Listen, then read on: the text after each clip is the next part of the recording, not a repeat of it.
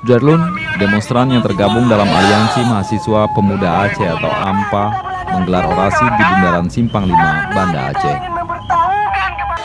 Mereka menuntut pemerintah lebih serius dalam mengelola perekonomian Indonesia setelah melemahnya rupiah terhadap dolar Amerika Serikat.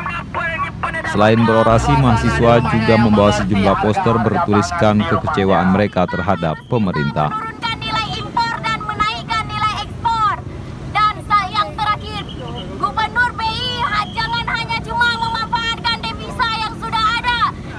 Aksi tersebut diarahkan kepada pemerintah Indonesia yang sampai sekarang dinilai masih lamban menanggapi permasalahan tingginya dolar terhadap rupiah. Dari Banda Aceh, Muhammad Ansar, Serangan TV.